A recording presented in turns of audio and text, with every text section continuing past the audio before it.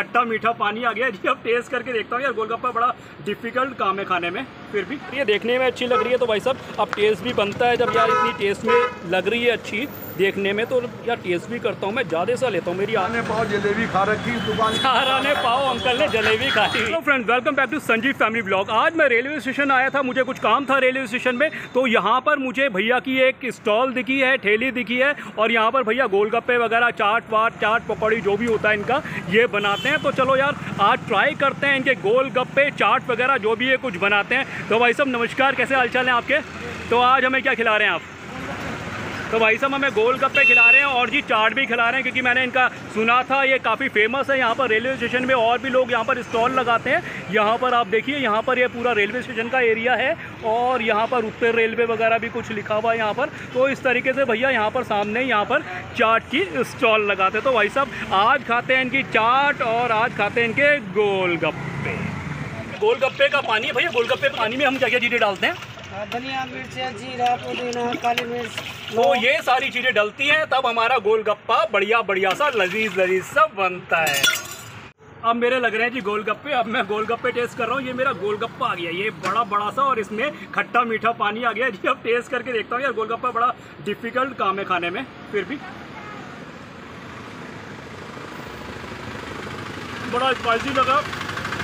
Street food है spicy तो होगा ही। बड़ा खट्टा मीठा पानी लगा और जीरे का टेस्ट आया मुझे। जीरे का टेस्ट आया और पुदीने वगैरह का टेस्ट आया मुझे।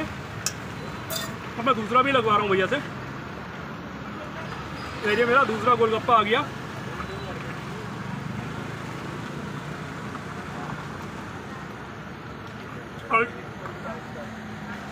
अल्टीमेट है।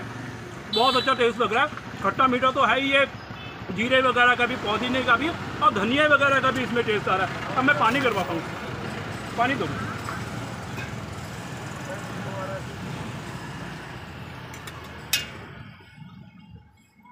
तो अब मैं पानी पीता हूँ, क्योंकि इसमें पानी में भी बड़ा मज़ा आता है यार, इसका पानी, गोलगप्पे खाने के बाद आप पानी पियो तो बहुत बेहतर है।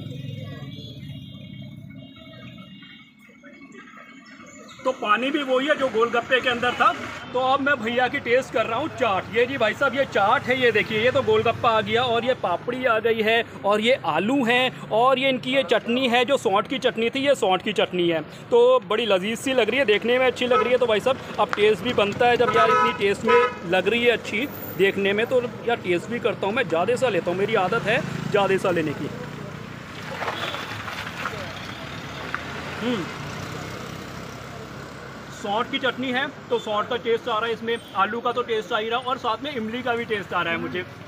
तो काफ़ी अच्छी लग रही है। ये गोलगप्पे का भी काम तमाम कर देते हैं, ठीक है जी? ये गोलगप्पा भी लिया मैंने, ये आलू भी लिया, यार हाथ से करना पड़ेगा इसका काम। ये देखो, क्योंकि आपने ज़्यादा अगर करना यार, हाथ से ही लेना पड़ेगा, और ये बिग बाइट बन गई है मेरी। बिग बाइट बन गई है, और ये बड़ा मुश्किल हो रहा है।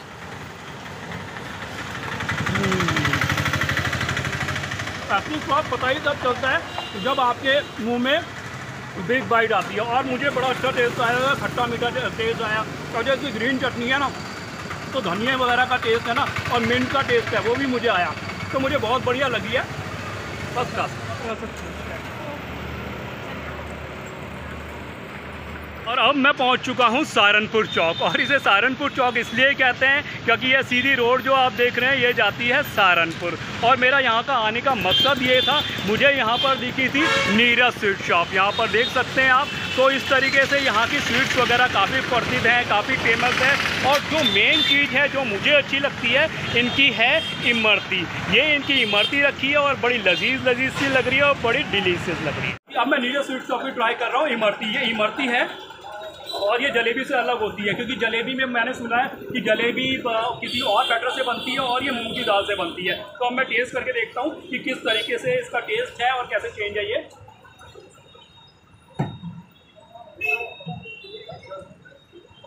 सबसे पहली बात तो गर्म बहुत ज़्यादा है इस टाइम में।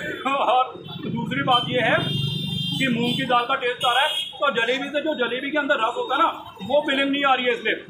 इसमें लग रहा है कि भाई रस चारों तरफ़ इसमें रस है। तो अंकल जी यहाँ की इमरती ट्राई कर रहे हैं तो अंकल से पूछते हैं जी आपको इमरती कैसी लगी है? तो बताइए अंकल कैसी लगी है इमरती आपको?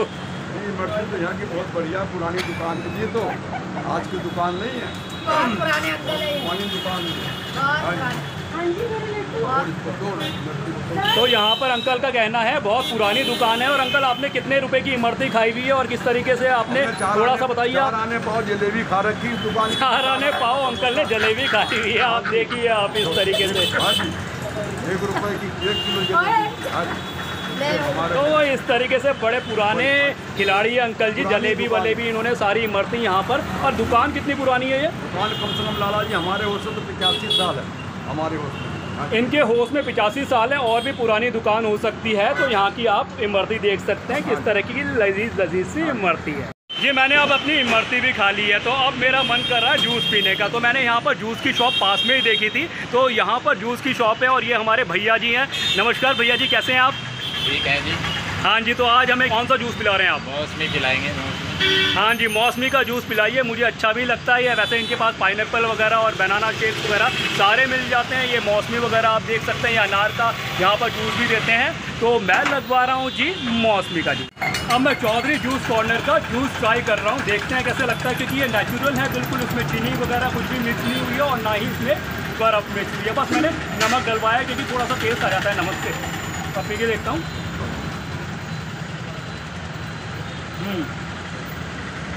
इसमें नमक का तो टेस्ट आ ही रहा है, जो चाट मसाला वगैरह का नमक होता है, सैंधा नमक होता है, उसका टेस्ट आ रहा है। और दूसरा, बिल्कुल खट्टा खट्टा सा लग रहा है और खट्टा मीठा दोनों लग रहा है, पर मीठा ऐसा नहीं लग रहा है जैसा चीनी के डाल के लगता है मीठा, बिल्कुल नेचुरल लग रहा है मुझे ये।